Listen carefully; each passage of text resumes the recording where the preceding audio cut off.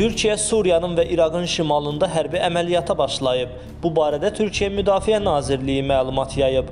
Məlumatda deyilir ki, Pəncə qılınc adlandırılan əməliyyatın məqsədi İraq və Suriyadan həyata keçirilən terror hücumlarının qarşısını almaqdır.